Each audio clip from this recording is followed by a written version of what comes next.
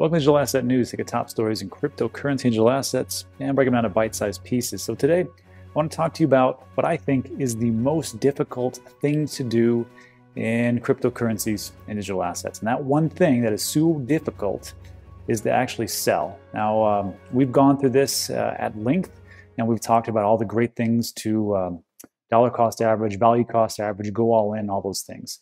And uh, for me, uh, moving forward, I find this to be one of the most difficult things to actually do. And I just want to run some things by all of you uh, just to uh, show you what I'm doing right now to make sure that uh, I stick to the plan and I change my perceptions as more data comes in. So we'll get into all that. But first, take a look at what's going on in the market. I like to go over the market just to see what's uh, you know as a point of reference because it's always interesting as people come back to these videos you know in a week two weeks uh, you know year like wow bitcoin was only x so today bitcoin is only $58100 and it's uh, february 21st high noon el paso texas time so uh, pretty good day uh, Ethereum is uh, teetering on the 2000 level. It's gone up, it's gone down. And the reason is because round numbers, people sell. And uh, once it hits 2000, there's a lot of uh, limit orders and people sell their positions, like myself. And I'll go over that about why I did that. Uh, Binance Coin is number three, uh, probably because of all the utility it has in Pancake Swap, and it's beating the pants off of uh, what Ethereum is doing and Uniswap and all those different dexes because the uh, rates are just outrageous. Uh, Polkadot, number four. Cardano's back to number five. Fantastic. Tether's in six. XRP's in seven. Chainlink is a whopping $34. Watch out.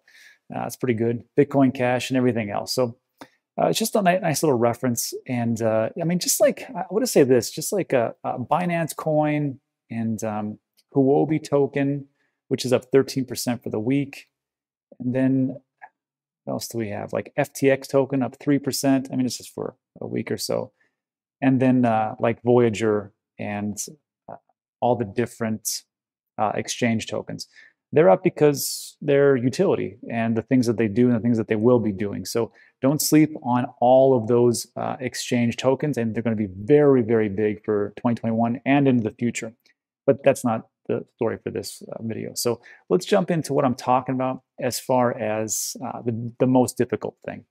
And if you know my story, uh, I started this this channel just a little over a year ago, and the reason was because I wanted to educate people on all my mistakes. And one of the mistakes that I did was I went all in at the wrong time. It's it's it's okay to go all in at the right time. That's but it's very difficult to time that.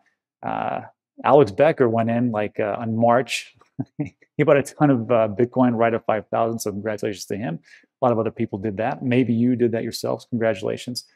But the problem is, is, is you know, figuring out, you know, when is the right time uh, to do that. And uh, I just want to make it easy on you, uh, easy on myself. I just dollar cost average or a value cost average. I'm talking about that at length. This is not the point of the video. That part's easy. We figured out how to not FOMO in and how to go, you know, just crazy and, uh, you know, uh, cash out all our positions and just dump everything in and watch it, uh, you know, watch it go down precipitously.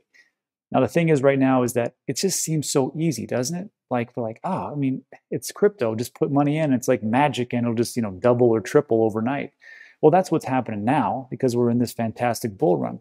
But what's going to happen as time moves on? Because guess what? What goes up must come down, and that is the truth. If you think everything is going perpetually up, you're crazy. And that's just the truth. Uh, this is not financial advice. This is just the things that I see and the things that I'm doing. So take it with a grain of salt. I still think you're crazy. All right. So moving on to what I'm talking about here as far as the exit strategy. And I've talked about this at length, done videos before. In the link in, in all my description, there's a, a, link to get to these spreadsheets. And we'll just take a look at the first one. Um, this is Ethereum. And I've got an 80 20 plan. I'm going to sell at 80% of my positions in this bull run and I'm going to hodl 20% uh, because I think that is what is going to happen. Could be wrong, hope I'm wrong, but this is what this is where we're at. So for 80%, as you notice right here, let me blow this up so you can actually see it.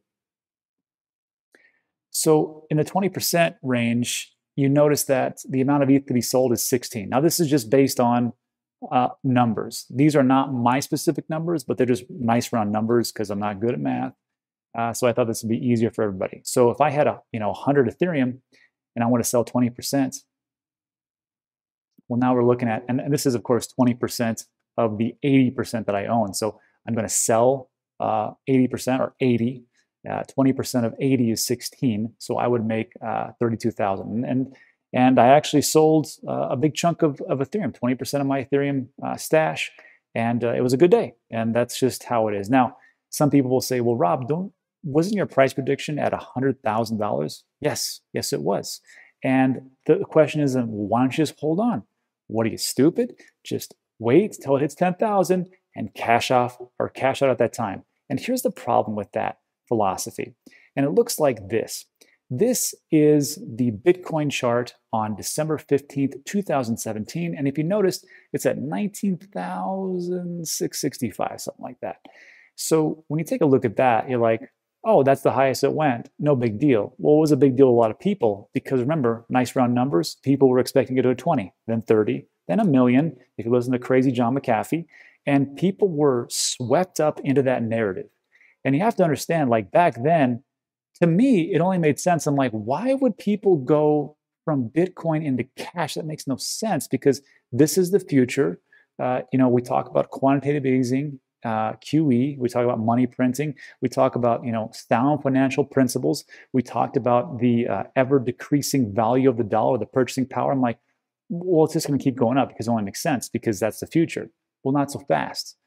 This is what happened, and this is the truth. So, if you think that you know, everything's just going to keep going up because it's the future, it's going to keep going up, but there's going to be massive dips and valleys and peaks and troughs. So you have to prepare yourself uh, over time.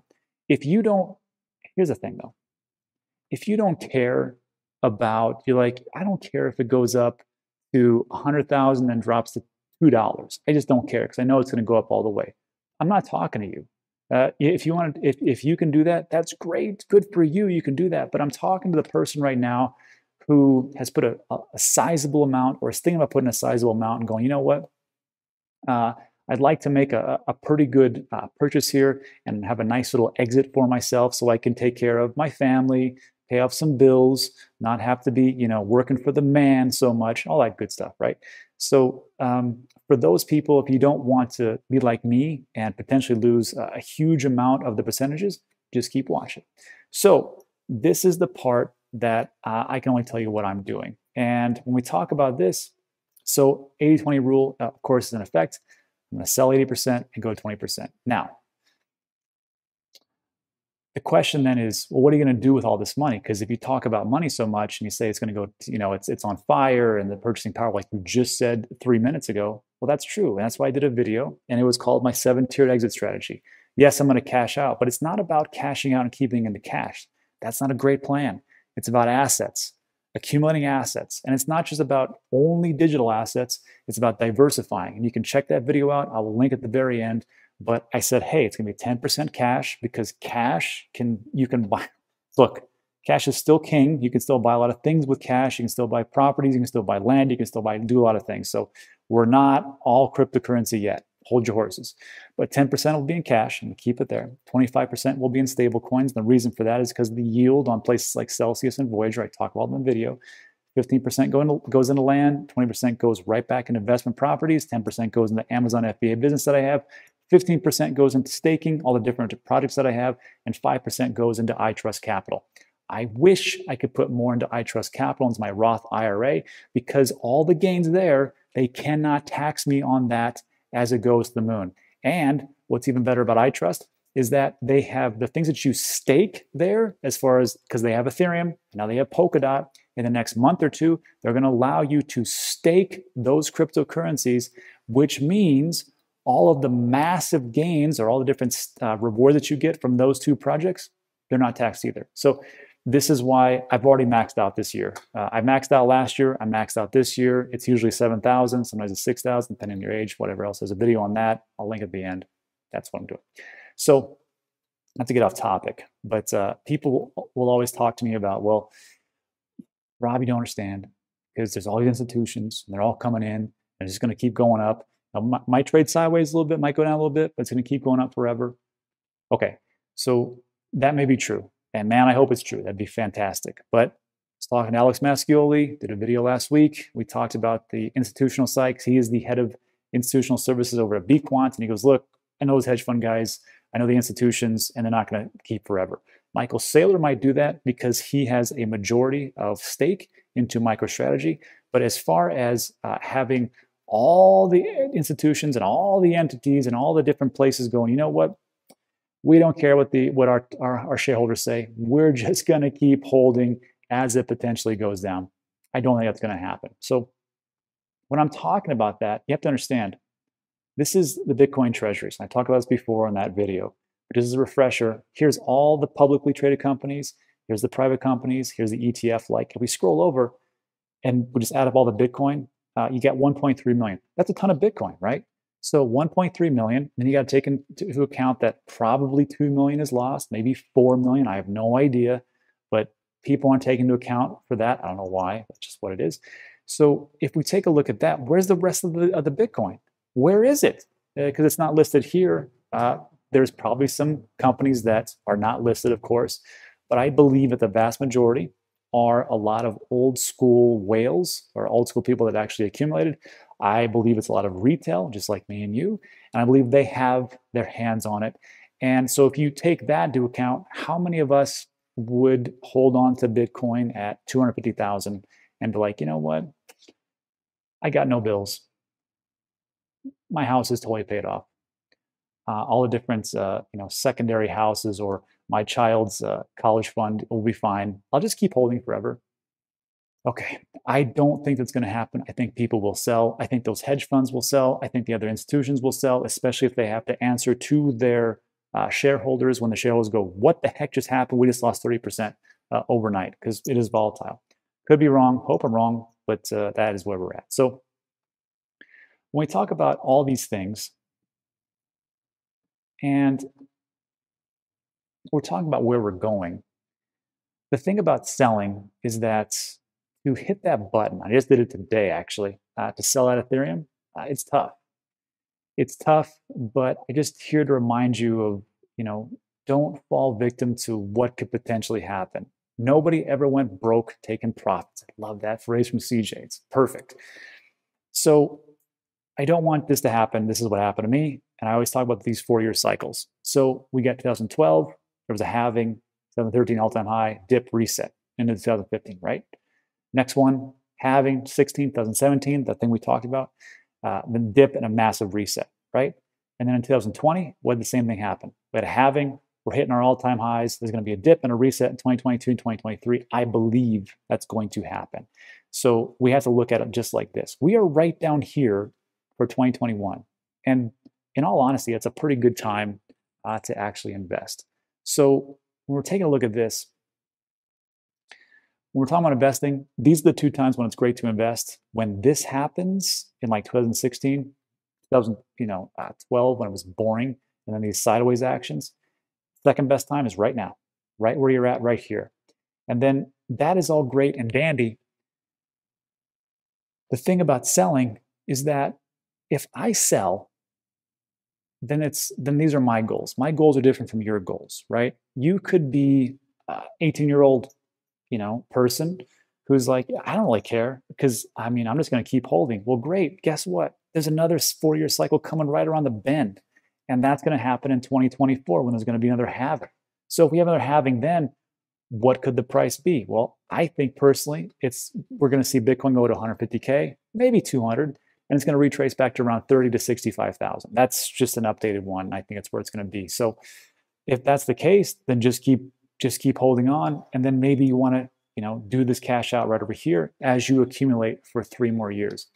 But the thing is about cashing out is this basic principle. If you have a plan, stick to your plan. As other data comes in, you can modify it as you see fit. Like for me, for the Bitcoin, I'm not going to sell 80% and then 20%, it's going to be like a 50 50 split, but I am going to sell. And I'm going to sell somewhere between September and December. That is my, my goal. I just have to take a look at what's going on at that time. If I miss it, if I don't sell at the top, guess what? The chances of me selling at the top aren't that great because it's just one of those things. I sold Dogecoin at the top for eight cents. I got lucky.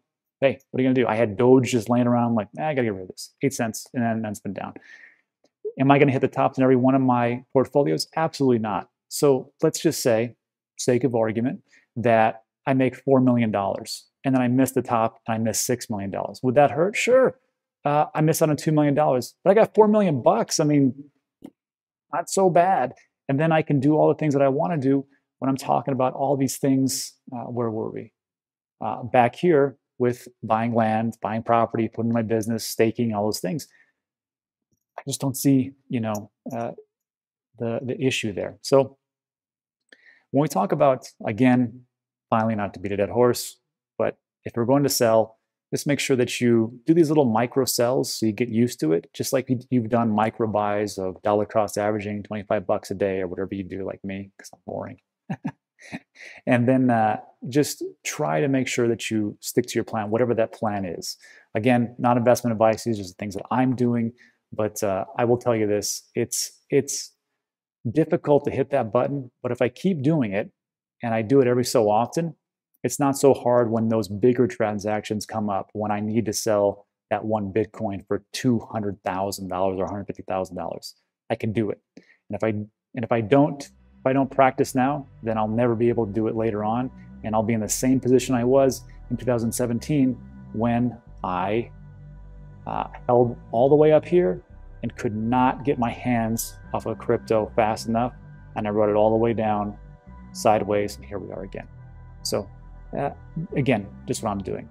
Anyhow, that's it for uh, today's video. Uh, I want to say if you made it all the way in, hey, thanks. If you liked it, go ahead and thumbs up. Really appreciate that. Also consider subscribing. A lot of things we do are time sensitive. I'm going to do another video today about the news. I just had to put this thing out. And if you like these types of videos, I'm going to link two more up. Uh, we had two that I wanted to talk about. One was the one with Alex Mascioli where we talked about institutions. Uh, the second one I was going to link up there was about the seven tier exit strategy. So you can check those out. All right, so that's it. Thanks so much for watching. Appreciate it. See you on the next one.